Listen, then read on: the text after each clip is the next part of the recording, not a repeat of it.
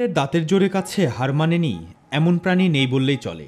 আস্ত মহিষ থেকে অধিকাংশ বন্য জন্তুই তার কাছে পরাজয় মেনে নেয়।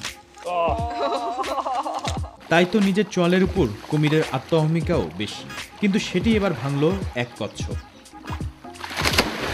দক্ষিণ ক্যারোলিয়ায় একটি কচ্ছপকে বাগে পেয়ে পুরোপুরি মুখে পুড়ে ফেলে কুমিরটি। এবার শুরু চিবানো। কিন্তু চিবিয়ে সুবিধে না করতে পেরে গিলে ফেলার চেষ্টা করেছে সে। বাধা দেওয়ার উপায় ছিল না কচ্ছপটি। কিন্তু কচ্ছপের পিঠে শক্ত খুলে কাছে হার মানছে কুমিরের দাঁত। শেষ পর্যন্ত কুমিরের মুখ থেকে ফসকে মাটিতে পড়ে লাফিয়ে লাফিয়ে পালিয়ে চলে যায় কচ্ছপটি।